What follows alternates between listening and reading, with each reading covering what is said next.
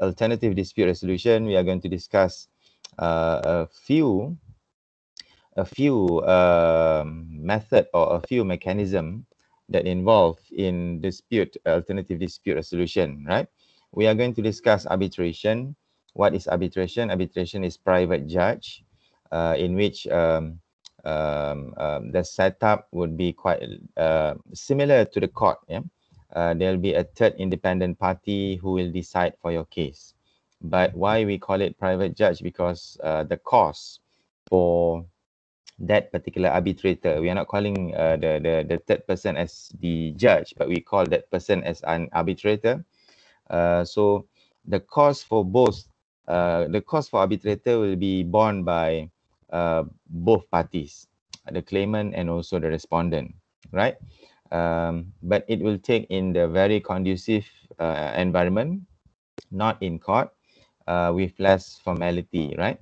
Uh, but in court, uh, it is a public judge. Why does we call actually public judge? Because um, uh, we did not pay the salary of the judge. Uh, the judge's salary will be paid by the government, right? So it is in a formal manner. It will take place in the court, right? Maybe some of you have um, go to the court before. So the setup will be quite different. Uh, it is formal in nature. But for the mediation, uh, mediation is quite different because mediation will involve uh, will involve um, um, uh, third party, but not to decide on your matter, right? The third parties are to facilitate uh, both of the parties, right, to find a solution. So this is the difference between mediation, the vast be difference between mediation, arbitration, and also the court, in which it is the parties are the sovereign, right? Uh, okay. So um, why mediation as the first option, right? Why mediation mediation as the first option? We need to know that um, uh, we always say that parties are the bosses and they not the mediator that determine for themselves how their dispute should be resolved. So this is very important in mediation. You appoint the third party, the third party is uh, not there to decide on your case, but the parties will decide themselves, right? The mediator will just facilitate, okay? Um, secondly, um, uh, it is non-binding and voluntary. Whatever it is, the result of the mediation will um, will uh, come out in the form of agreement, right? There is less formality, and the most important thing, the parties must be uh, willing or voluntary. Uh, mereka hendaklah sukarela uh, to submit themselves into the um, uh, uh, jurisdiction of mediation, right? So this is very important. Okay. Um, if you were to compare between arbitration, uh, court, and also mediation, the cost is cheaper. Eh? It is cost effective, which is cheaper, and it is time saving because you are the one who will control uh, the process in terms of timing. Right? Uh, so it is time saving and also cost effective. Okay. Next, as I mentioned to you just now, it is informal. Uh, unlike the court, you can have mediation at anywhere, any place, right? Uh, without any formality. It is flexible in nature. You can decide on what time you want to have, on what day that you think that it is suitable for you. Uh, it is uh, 100% privacy. Nobody will know actually of uh, anything, okay? So it is private and confidential, and also it is not adversarial. Non-adversarial meaning that it is not like uh, both parties must appoint lawyers. Okay, lawyers uh, need not be there. Okay, um, uh, the parties will uh, will not have to call witnesses. Okay, uh, the parties will not uh, tender any evidence. Okay, they need not call any police or whatsoever. Okay, so it is non-adversarial in nature. Unlike in court, if you go to the court, the parties will have to prove, there will be a standard of proof, right? Uh, there will be a, burden of proof of parties. Yeah? They will bring up cases and um, uh, like in trial, okay? So this is non-adversarial. It is unlike mock trial. Eh? It is unlike a trial in court, okay? and uh, it is good business relation. Uh, you must understand that why people choose mediation because they still want to have, uh, they still want to maintain their relationship, business relationship. Because if you go to court, normally uh, if you, uh, kalau you all dengar selalu orang akan kata, oh see you in court, okay. Kalau pergi dekat mahkamah tu maksudnya dalam kes-kes penceraian dan sebagainya tu itu bermakna uh, mereka apa ni uh, they they already decided that they want to break the relationship right they do not want to continue the relationships eh? so but for mediation why they choose mediation because first it is private and confidential nobody will know unlike in court kalau kes penceraian artis tu you all akan dengar dekat dalam TV kan tapi kalau artis tu pergi mediation you tak akan tahu at, at the end of the day right so uh, it is good for businesses uh, in which uh, nobody will know and they want to maintain their relationship. Kita akan lihat selepas ini in which uh, for example in some industry for example construction industry why they choose mediation because they have their own reputation. Eh, they have their own reputation. Uh, just imagine if you uh, if you uh, if you have a big company for example Petronas okay or for example if you have uh, for example Tabung Haji okay uh, I believe that you guys has uh, have an account, saving account with tabung haji, right? So if let's say that you you dengar tabung haji selalu keluar masuk mahkamah kerana ada case, so you all akan terasa eh, so what happened to my saving? You akan rasa bahawa oh, uh, you tidak akan yakin, eh, tidak ada keyakinan terhadap tabung haji sebab dia selalu keluar masuk mahkamah, okay? So nobody like that, okay? So in terms of good businesses, uh, um, uh, in which uh, I'm not sure kalau you belajar company law eh, um, as a shareholder ataupun as a director you need to have a good reputation of your company okay so it is a good business to maintain the relationship okay last but not least mediation work best if parties have a genuine desire to resolve differences. Okay? So sometime kita akan tengok ya dalam mediation ni uh, for example uh, selalunya lah kalau melibatkan uh, perkahwinan, okay, marital affair, uh, a marriage between husband and wife, um, if they go to the court, so judge akan minta pergi kepada suluh, okay. So suluh is a mediation in which uh, is the best way for parties untuk resolve issues. Sebab kadang-kadang isu antara husband and wife is just a small issue tapi kadang-kadang eh um, kadang-kadang isunya adalah kecil eh uh, jadi uh, sebagai contoh husband and wife ada satu case tu uh, wife minta uh, penceraian okey dia mohon bercerai okey jadi uh, bila uh, hakim tanya kenapa minta untuk perceraian okey? Jadi um, dia kata husband dia tak beri nafkah dan sebagainya.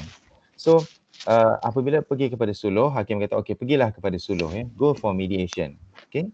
So bila go for mediation, uh, the mediator, the person or the third party or the mediator, they are going to uh, uh, explore what actually the problem.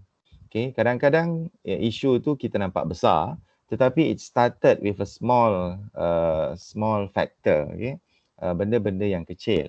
Uh, iaitu husband dia ada banyak kebanyakan case mengapa wife uh, minta cerai daripada husband bukan setakat um, perkara yang besar-besar ya tapi perkara kecil adalah dia started with husband tidak ingat wife punya tarikh lahir banyak berlaku kadang-kadang benda tu kecil ya sampai minta kepada penceraian so mediation work best if parties ada hasrat genuine desire to resolve differences okay so this is what we call as mediation so what is mediation mediation is a completely voluntary, non-binding and private dispute resolution structured process. Mediation is different compared to negotiation. Negotiation, you berunding. You tak appointed party. You berunding untuk mendapatkan harga terbaik bagi membeli barangan. Contoh kan. It's between you pembeli dengan peniaga. Okay, kalau misal kata you berunding, ada di antara you yang buat business, okay. Jual burger atau jual online contoh kan then other party approach you boleh tak saya pun nak jual barang-barang you eh saya nak jadi you punya agent okay uh, jadi dia berunding dengan you it is uh, between you and the other party only two of you But for mediation, it's quite different. Mediation, you appoint a third party to explore your issues, okay? Uh, in which it is a structured process. Uh, kita akan bincang next week. Dan it is a voluntary non-binding, ya, adalah sukarela dan juga uh, apa yang dimaksudkan dengan non-binding adalah dia tidak memaksa sesiapa. Okay, dia tidak memaksa sesiapa. Kecuali kalau court, dia paksa you. Okay, dia tak perlu dapatkan persetujuan you. Contoh kalau misal kata dalam kes-kes jenayah ataupun kes-kes saman di dia saman you kerana uh, contohnya uh, tidak uh, tidak memakai tali pinggang keledar contoh kan? Ataupun dia saman you kerana tidak membayar hutang contoh kan? Uh, jadi uh, bila dia saman you dia tak tanya oh boleh tak saya nak saman you tak. Okay? Uh, jadi involuntary untuk other processes okay but for mediation it is completely voluntary the the other party need to ask you first can we go for mediation okay, can we go for mediation? So if you agree, then you go to mediation. So itulah sebabnya parties may terminate the mediation process at any time. If you feel that you rasa bahawa mediation tidak sesuai untuk menyelesaikan kes you, ataupun you rasa bahawa bila you buat mediation, oh rupa-rupanya ada jalan, ada sinar kata orang tu, uh, light at the end of the tunnel, okay? In which you know that, oh actually you can um, settle the differences, so you can terminate the mediation process at any time. Okay. A, mediator, a mediator will not make ruling or finding. This is something that I want you to know that uh, unlike arbitration and the court, okay, judges and arbitrator, they decide for that particular case. If you refer that case to that uh, arbitrator or judge, okay, they will decide on your behalf. But for mediator, if you point, appoint that mediator, that particular mediator is not making any decision on your behalf, okay? but they are going to explore the issues and facilitate. That's why in mediation, sometimes we call it a facilitative manner to resolve issues. Okay, right. Kemudian, no settlement reached until it has been reduced into writing and signed by the parties. This is very important. At the end of the day, eh, mungkin you tanya, oh, kita buat mediation, dia tak formal. Just macam bincang-bincang kan, explore the issues. Lepas tu mediator tak buat keputusan. So at the end of the day jadi apa ya? Kalau arbitration at the end of the day dia keputusan. Kalau dekat court at the end of the day there will be a judgement. Okay, apa judgement tersebut? Sama ada you have to pay or you don't have to pay or whatsoever. But the beauty of mediation adalah at the end of the day, if let's say that you feel that you are comfortable, if you feel that you reach certain issues that you can agree together, Okay, so at the end of the day, you will have a settlement agreement. We call it settlement agreement ataupun perjanjian um, perjanjian untuk mengesahkan uh, proses uh, isu-isu yang telah dipersetujui. Okay, perjanjian persetujuan, settlement agreement. Okay, so this is very important uh, in mediation. Okay, parties are encouraged to cooperate in good faith to resolve the issues. So this is very important juga. Parties oleh kerana mereka tidak dipaksa it is a, uh, it is a voluntary basis mereka diminta untuk bekerjasama okay and the process is confidential and without prejudice apakah maksud confidential dia adalah rahsia without prejudice disclosure or admission by parties shall not leave the four walls of the mediation venue should the parties fail to reach any settlement okay then no authorized uh, and also um, uh, no authorized audio visual recording. Okay, maksudnya uh, tidak direkodkan lah ya, kecuali uh, dipersetujui oleh kedua-dua pihak. Okay, a neutral third party uh, elicit parties cooperation to discuss their dispute openly.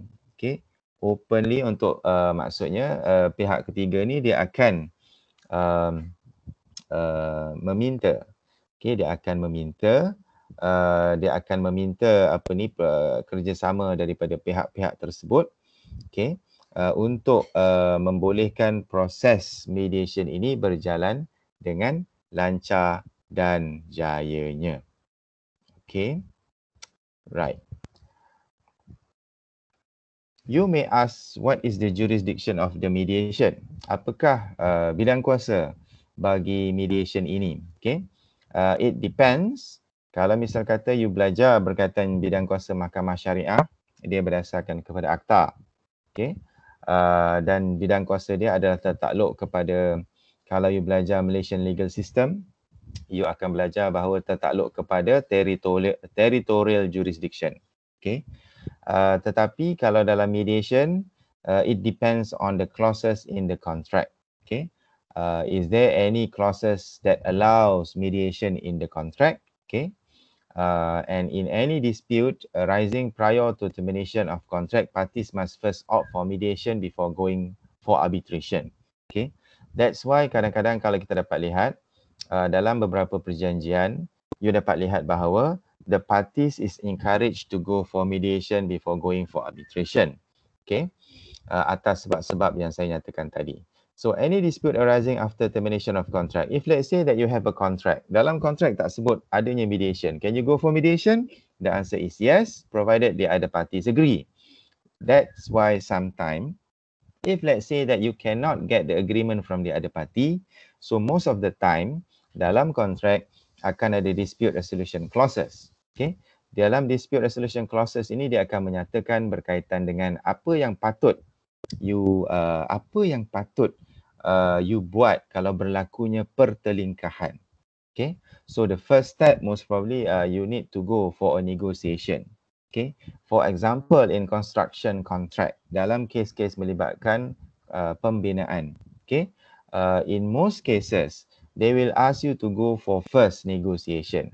Okay, then if you cannot go for mediation, uh, you cannot go for negotiation, you go for what we call as dispute adjudication board. You appoint one specialized. Okay, it's either engineer, architect or QS just to look into your case. It is a paper-based inquiry. Then you, they, he will look into the matter. Okay, sebab dalam construction normally issue yang besar adalah issue duit tidak dibayar kan.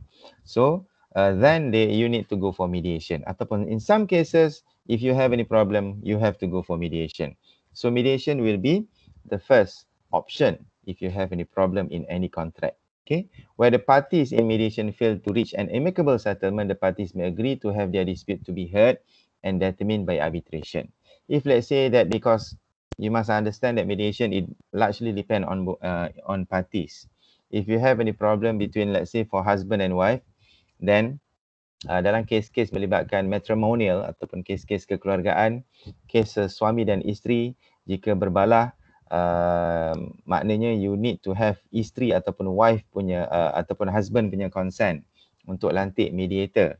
Kalau tak bersetuju barulah you pergi mahkamah kan. Okay.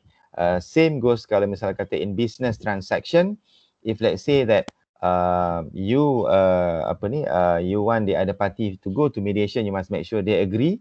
Kalau tak agree barulah pergi kepada arbitration. Okay? So there are a few mediation um, mediation uh, apa ni uh, institution. Okay? Uh, badan-badan yang ada di dalam uh, agensi-agensi kerajaan ataupun agensi-agensi swasta yang uh, uh, apa ni uh, menubuhkan satu badan khusus bagi menyelesaikan pertikaian-pertikaian ya uh, yang melibatkan uh, jika ada masalah ya Uh, contoh yang pertama adalah uh, Tribunal Tuntutan Pengguna eh, ataupun Tribunal for Consumer Claim. Okay. So Tribunal for Consumer Claim ini adalah merupakan salah satu bentuk mediation di bawah Consumer Protection Act 1999. Akta Perlindungan Pengguna 1999 eh, in which under section 85 states about uh, pembentukan ataupun formation of that tribunal And the most important part, uh, jurisdiction of the tribunal under section 98. Yeah, if you have any problem or any claims, contoh beli barang-barangan kat kedai yang tidak ada harga ataupun perkhidmatan-perkhidmatan yang tidak dikeluarkan receipt, okay, dekat uh, notice board uh, tulis lain, uh, tapi bila you beli rupa-rupanya harganya lain, okay in which the claim for goods and services which no redress mechanism in any law and the tribunal boleh mengeluarkan uh, keputusan uh, ganti rugi ya ataupun pampasan ya tidak melebihi 25000. Okey 25000. Namun demikian uh, adakah semua kes boleh dibawa di tribunal tuntutan pengguna? Ada limitation ya. Yeah. section 99 stay, say that if it is regarding uh, kes-kes tanah ataupun wasiat ataupun kalau misal kata you naik kapal terbang kan you naik kapal terbang you beli tiket ya. Yeah. you naik kapal terbang you beli tiket tiba-tiba kan isu um, isu sebelum apa ni isu uh, masa pelajar lapu diri ya. Pelajar kena kembali ke kampus ya. Tiba-tiba tarikh diubah. Eh saya dah beli okey saya dah beli eh ataupun sebagainya so boleh tak saya buat tuntutan dekat uh, tribunal tuntutan pengguna sebab saya pengguna kepada Air Asia contohlah kan can I claim that ataupun can I file my uh, claim or complain to tribunal tuntutan pengguna? Tak boleh. Sebab kalau melibatkan penerbangan dia ada badan lain ya yang diberi nama sebagai Malaysian Aviation Commission MAC. Okay. So kalau you ada problem, uh, saya nak ajar ya. Contoh you naik kapal terbang, uh, you rasa bahawa uh, perkhidmatan dia tidak memuaskan, kapal terbang tiba-tiba lambat. Contohlah ni kalau misalnya kata you all Sabah eh, kapal terbang lambat, uh, you boleh buat komplain. Uh, you boleh buat komplain dekat Malaysian Aviation Commission. Okay. Uh, okay. Uh, satu lagi perkara paling penting adalah uh, if you uh, learn about uh, civil procedure, of course, I know that you are going to learn, uh, you dah belajar pun civil procedure. You akan belajar berkaitan cost of action. Okay, cost of action. Apa maksud cost of action? Siapa tahu? Apa maksud cost of action? You dah belajar civil procedure kan? apa maksud cost of action? Siapa boleh bantu saya? To claim. Yes, the basis. So, the basis of you to claim. Okay. So, uh, what will be the basis of you to claim? There will be a time limitation. Okay. You akan belajar juga berkaitan limitation time period. Okay. For tuntutan pengguna, whatever happen, the cost of action which accrue within three years. You beli barang contoh dekat Speedmart, you tak puas hati, okay? Sebab barangan tersebut you rasa macam you ditipu ataupun you ada prepaid card okay? You beli prepaid card Celcom sebagai contoh mula-mula you top up RM50 tiba-tiba you check balik you punya baki eh kenapa baki berkurangan RM2 setiap hari kan ataupun you kata uh, kenapa pula tiba-tiba ada orang lain telefon saya mana dia dapat my phone number so you nak buat tuntutan pengguna terhadap any mobile uh, apa ni uh, any mobile uh, phone uh, line provider it must be within three years. Okay, the limitation time period adalah three years. Okay, dan juga uh, tribunal tuntutan pengguna ni kalau you terlibat dengan kemalangan jalan raya lah kan. Okay, na'udzubillah min zalik lah kan. Uh, kalau misalnya kata anybody who terlibat dengan kemalangan jalan raya, tiba-tiba dia tanya you, boleh tak kalau misalnya kata saya nak buat tuntutan dekat tribunal tuntutan pengguna? Naik bas ataupun naik MRT ataupun naik LRT kan, tiba-tiba you belum sempat turun lagi, tiba-tiba LRT tu bergerak, you pun jatuh. Okay, so you personal injury, you sustain uh, apa ni personal injury, cedera. Can you make a claim? Cannot. Okay, you cannot make a claim dekat tribunal tuntutan pengguna. So that is the first tribunal tuntutan pengguna, tribunal for consumer claim. Okay, boleh? Right.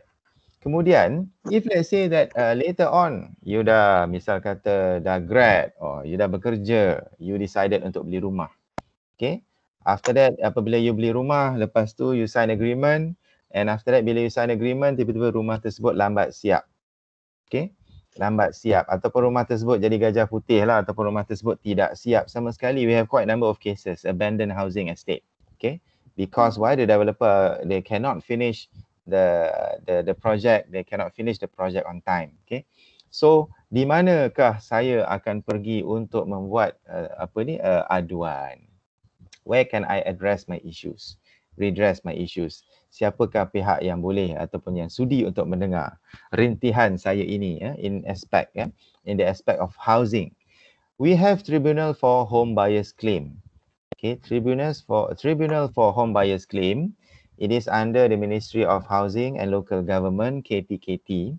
Okay, and tribunal for home buyers claim are actually subjected to Housing Development Control and Licensing Act 1966.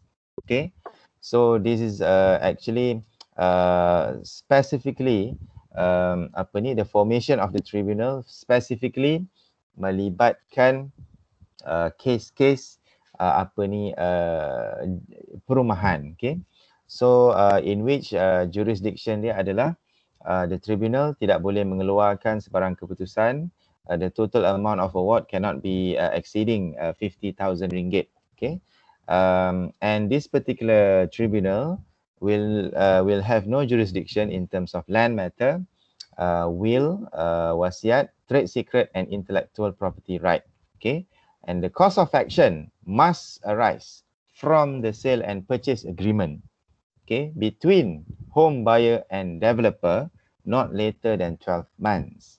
Not later than 12 months from the date of issuance of CCC. Rumah itu siap, dapat CCC, dulu CFO. CCC adalah Certificate of Compliance. Okay?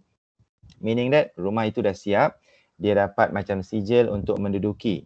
Uh, uh, sijil untuk menduduki, we call it CCC.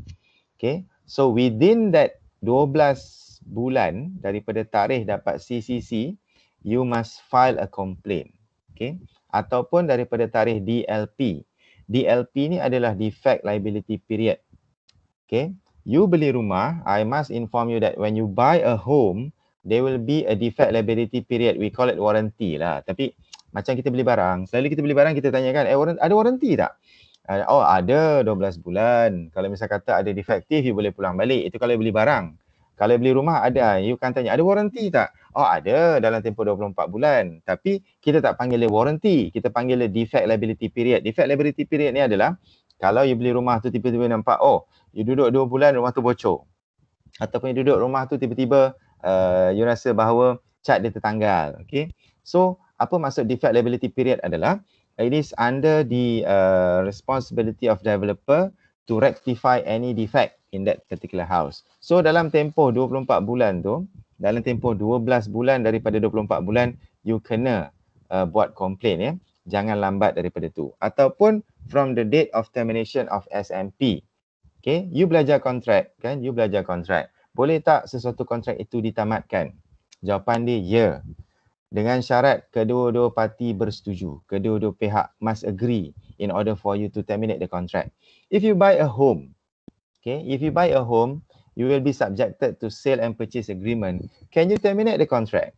Okay, if let's say that the house tu tak siap, okay, uh, can you terminate contract? You feel that, oh, um, I don't want uh, because uh, the developer failed to uh, complete the project within time. Okay, so can you terminate the contract? because if you want to terminate the contract, you must ask the developer or the contractor. Confirm uh, developer dengan contractor tu takkan setuju. Yeah, in in in that particular case. So kalau dia tak setuju, tak boleh lah terminate contract. Okay. So in in uh, in the law of Housing Development Control and Licensing Act 1966, it gives uh, the right of apa ni uh, pembeli rumah tersebut untuk menamatkan kontrak kalau mereka tidak berpuas hati. They can opt to terminate the contract if they feel if they have any dissatisfaction towards the contractor. Okay? Uh, under the act.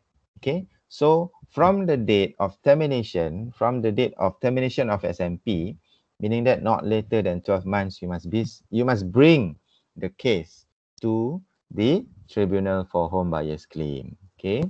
So ini yang kedua.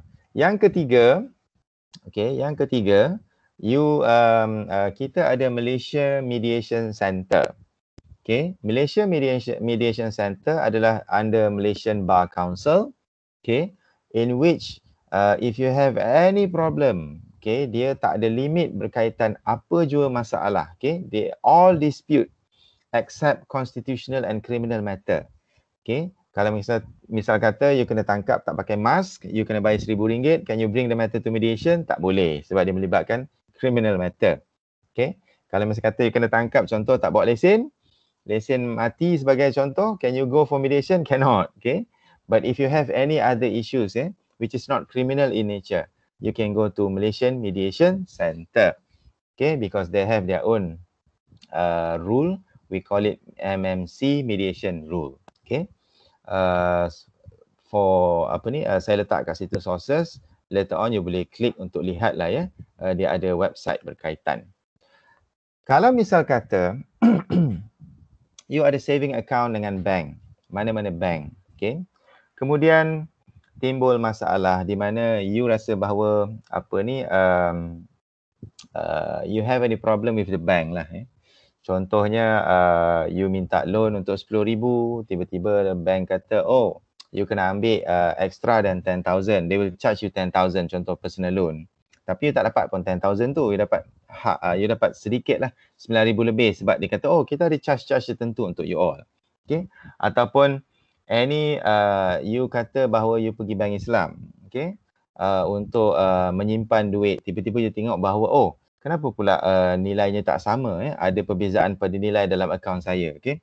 So you tak berpuas hati dengan uh, perkhidmatan perbankan. Okay. So we have Financial Mediation Bureau. Okay. Uh, in which we uh, they call it as Financial Ombudsman Scheme.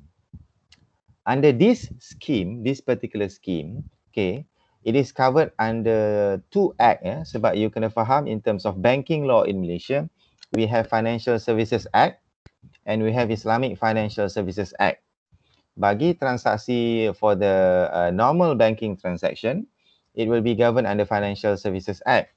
But if let's say that you are taking uh, the um, if you are taking Islamic finance uh, bank or facility uh, loan and so on and so forth, it will be subjected under Islamic Finance Services Islamic Financial Services Act ataupun IFSA. So under both act, which is under section 128 and 138, um, provide for financial ombudsman scheme. Dia mediation juga uh, di mana bank ini uh, you all kena faham ya dalam Malaysia untuk buka bank you kena dapatkan license daripada bank negara. So bank negara kata bahawa oh bank negara ini satu badan yang memang powerful lah dekat Malaysia ya. Sebab itu kalau misal kata dalam kes-kes melibatkan uh, moratorium, uh, moratorium dalam tempoh PKP tidak perlu bayar uh, loan selama enam bulan, okay? Moratorium, okay? Bila bank negara kata, okay, bank-bank semua, jangan buat sebarang tuntutan bagi moratorium. Bank semua tak ada yang membantah sebab dia kena dengar ya. Dan dia akan patuh sebab apa?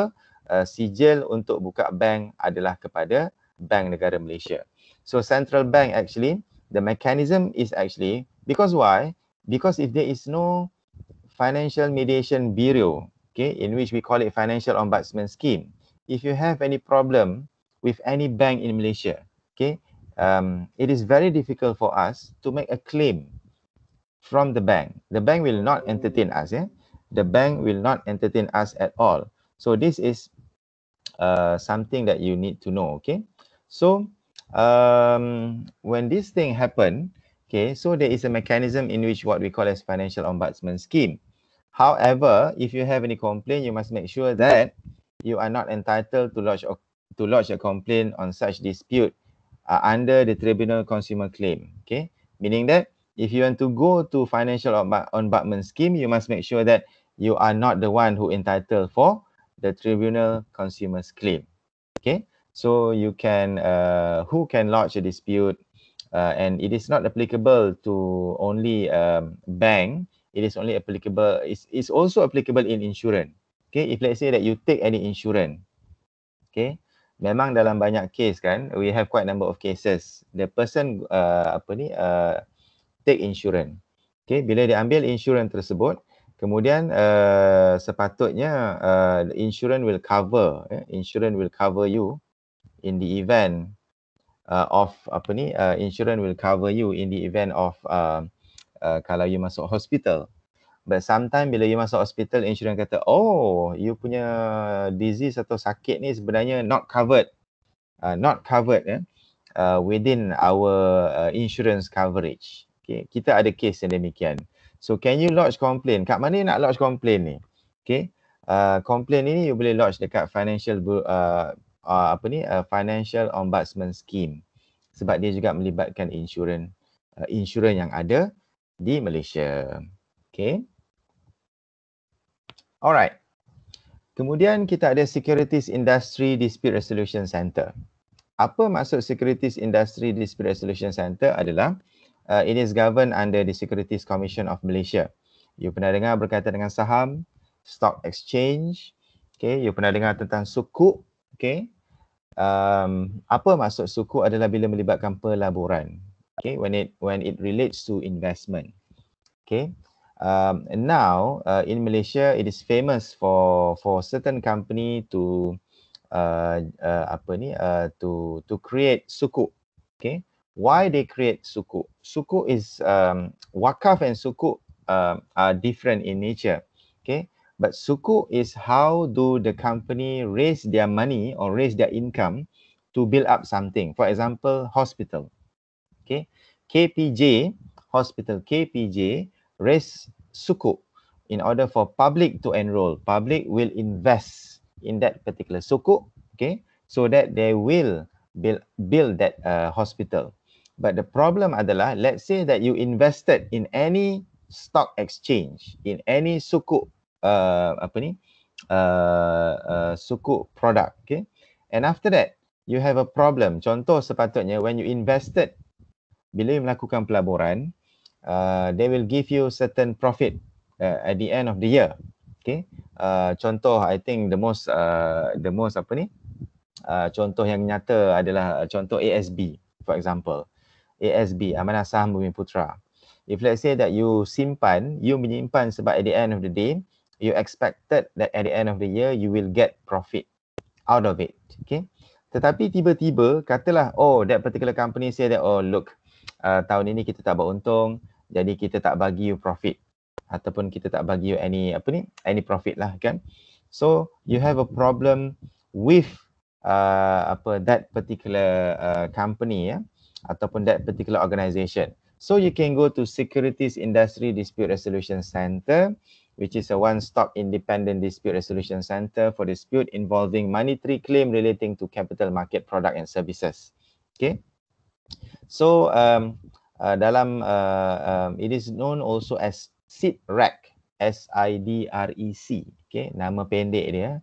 Uh, also known as SIDREC, Security Industry Dispute Resolution Center uh, which have been set up under the Capital Market and Services Dispute Resolution Regulation 2010 to provide free, fair and expert to help the public investors and our members. Okay, meaning that in Securities Commission, uh, macam bank negara, if let's say that you want to set up a bank, you must get the license from a bank negara. Same goes if let's say that you want to uh, open up a scheme for investment. Okay, uh, for example, uh, um, uh, Huang Securities, uh, BSN Prudential, uh, something that involves collection money in for the purpose of investment. Okay, uh, they must get the license from Securities Commission in order for them to put up their company in the stocks exchange Bursa Malaysia. They will need the uh, permission uh, they call it as a listing requirement to list their company in the board okay in the board of a stock exchange? They need to fulfill the requirement under the securities commission. If you have any problem with any company in the stock uh, in the main listing okay in the stocks exchange you uh, because you are investors you can go to security industry dispute resolution center okay? So they have a mediation also for that particular uh, case. Okay, this is actually suluh uh, mediation in Syariah court. Okay, mediation in Syariah court, in which, uh, for example, the Selangor Islamic Judiciary Department defines suluh as a meeting between two disputing parties involving one or more claim in the Syariah court, which is chaired by suluh officer. There is actually a suluh officer under the uh, Selangor Islamic Judiciary Department and the event a voluntary. It is a voluntary agreement. Uh, if it is achieved by both parties, such agreement will be recorded before a judge. They will call it as a consent judgment. Okay.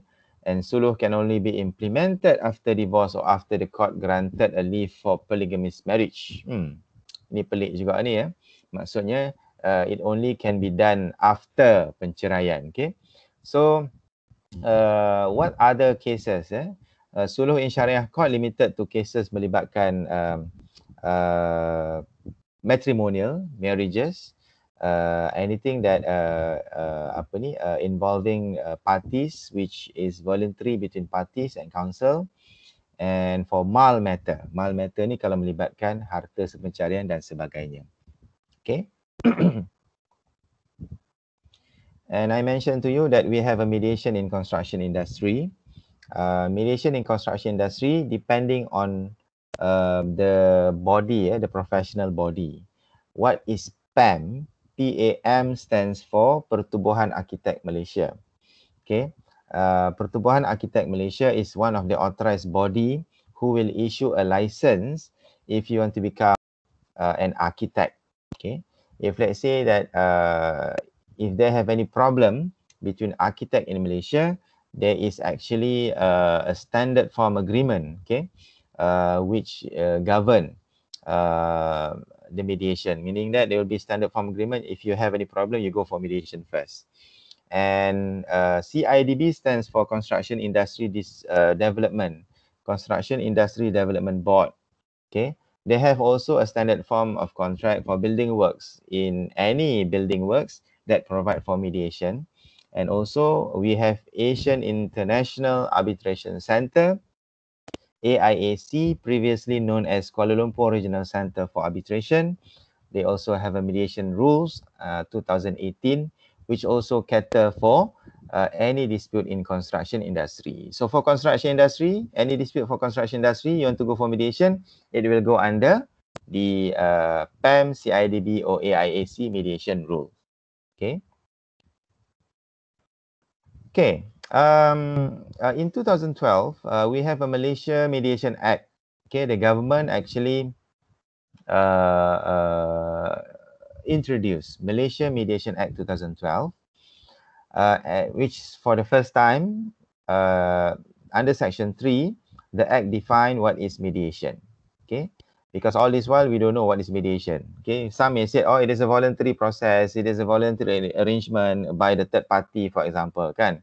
So mediation has been defined under Section 3 as a voluntary process in which a mediator facilitates communication and negotiation between parties to assist the parties in reaching an agreement regarding a dispute. Simple as that. It is a voluntary process in which you appoint the third party as mediator to facilitate communication and negotiation. Because this is very important. Communication between parties are very important. Okay? Because sometimes is if uh, um, there is a failure of communication between husband and wife, it can create a big fuss. It can create a big uh, dispute. Okay? Um, kalau kita tengok dalam TV kan uh, kadang-kadang wife uh, apa ni uh, terbaca lah husband punya uh, WhatsApp dalam phone okay so sebenar uh, terbaca lah WhatsApp phone dengan, dan dia kata oh uh, dia uh, dia menganggap bahawa that is uh, message daripada husband dia punya girlfriend contoh kan. Okay? Dan husband tersebut pula uh, bila cuba untuk menerangkan wife pun tak nak dengar. So failure in communication actually create a dispute. Padahal itu adalah daripada contoh mungkin adik-beradik ataupun saudara mara lah kan okay? Same goes to business transaction. A failure of communication within the business transaction pun boleh mengakibatkan uh, dispute occur okay so dalam kes ini mediator will facilitate communication and negotiation between parties to assist the parties in reaching an agreement regarding a dispute okay so this is very important and uh, kat situ saya ada letakkan uh, sources uh, on Malaysia Mediation Act. Okay, but if you ask me, uh, is there any body uh, that has been stated? Adakah uh, Tribunal Tuntutan Pengguna, Tribunal Tuntutan Perumahan ataupun uh, uh, any body that we discussed just now kan? Uh, is it uh, mentioned in Malaysia Mediation Act? The answer is no. Okay, because Malaysia Mediation Act is very uh, flexible in nature uh, anybody or everybody or any organization can can refer to Malaysia Mediation Act okay uh, if they want to proceed with their mediation. Uh, as if they choose for mediation as dia punya dispute resolution mechanism. Okay. Um court annex mediation adalah uh, macam suluh but beza dia adalah court annex mediation adalah in Malaysia we have a court. So if you like, if if let's say that we have uh, case cases in court, the judge will encourage parties to settle their dispute at the pre-trial case management. Okay, and they will appoint one particular judge as a mediator. Okay, uh, and they call it judge-led mediation. Okay, in which the judges tu yang akan jadi mediator.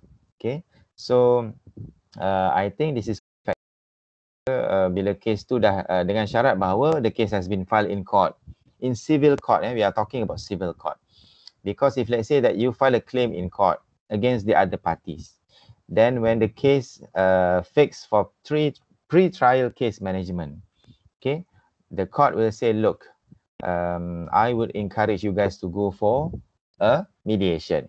Okay, uh, we will fix any judge to become your mediator, or you can have your mediator of your choice, a mediator of your choice, uh, to hear your case and uh, to encourage to settle your case.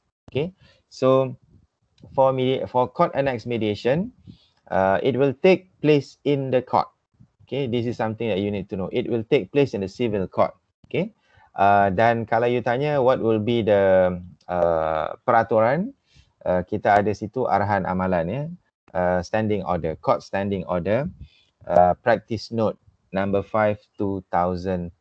Okay, uh, which issued by the Federal Court of Malaysia.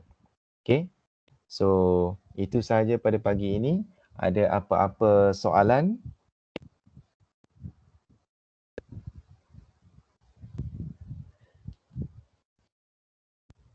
Assalamualaikum doktor. Waalaikumsalam. Saya nak tanya, ah, dia kan mediation ni non-binding kan? Yes. Uh, dia non-binding in terms of the outcome daripada mediator ke ataupun sebab uh, dia kan private and confidential. Kalau ada orang salah satu parti tu expose dia binding kepada tu juga ke? Kepada uh, kepada peraturan untuk uh, tidak apa ni kepada peraturan of confidential confidentiality. Ha. Okay confidentiality. Non binding means that it is um, um, it is up to the parties uh, whether he they want to go for mediation. Okay? Uh, in which kalau misal kata they uh, they feel that they do not want to go for mediation so it is it will not bind them. For confidentiality uh, normally if if let's say that you choose to go for mediation uh, then um, you are subjected to confidentiality. Okay? You are subjected to confidentiality uh, meaning that if let's say that uh, kalau you uh, nak go for mediation you will have an agreement for confidentiality and you cannot expose and mediation is between two parties uh, to the dispute. For example, if it is pertaining to contract, it's between that parties to the contract only. It will not affect the third party. Okay, third party will not be involved. Okay, boleh, Wafi? Okay, thank you, Doctor. Okay. Any other question? Um, Doctor. Yes. Uh, kan once dah uh, reach settlement agreement tu, kan akan involve formal process kan dia macam satu contract which kalau ada breach of contract benda tu boleh bawa ke ke tak ada pun benda tu Okay, good question. Okay, uh, if let's say that um, the outcome of mediation will be a consent agreement ataupun um, a mutual agreement.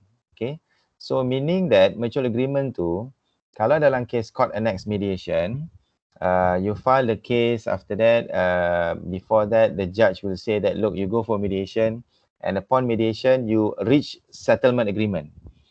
You record down that settlement agreement you bring that settlement agreement to the court you say that look okay we we have settled we had settled the issues and can we record a consent judgment? Okay so if let's say that after you record the settlement agreement and the other party um, fail to honor then they akan go back to uh, meaning that you can say that the other party has breached the agreement. Okay? Good question. Meaning that walaupun you dah buat mediation, you dah ada settlement agreement, but the other party fail to honor that particular agreement, you can bring up a claim to say that look, uh, he had committed breach of contract, breach of settlement agreement. Okay, boleh ke? Uh, so kena dapatkan court consent dah once dah reach yes. settle, agreement settlement tu. Okay. Yes. Must that. Thank yeah. you. Welcome. Uh, Assalamualaikum doktor. Waalaikumsalam. Uh, my name is Syahmin Nawawi. Okay. Uh, uh, in reference to your last slide about the practice direction number four and number five of 2010, I okay. think it has been revoked. Oh, it has been revoked. Uh, it has been revoked by the practice direction number four of 2016. Oh, okay. Ya, ya. Ada ada apa ni? Ada ada latest uh, arahan amalan ya uh, in 2016. Yes. Okay. Thank you. Thank you Syami. Okay.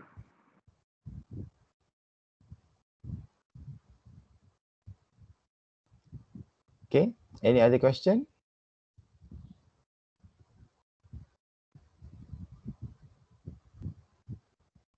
Tak ada soalan? Alright. Kalau tak ada soalan, um, I think um, we come into the end of our class today. Thank you for your attention and thank you for attending uh, the online uh, lecture. Um, please take care of yourself. Uh, stay safe and stay healthy. Yang baik itu hanya daripada Allah SWT. Kesilapan dan juga kekurangan itu daripada diri saya sendiri. So sekian bil uh, wabila taufiq wal hidayah wassalamualaikum warahmatullahi taala wabarakatuh. Okay, thank you guys. Thank you, Doctor. Welcome. Thank you, Thank Doctor. you, Doktor. Thank you, Doctor. Thank you.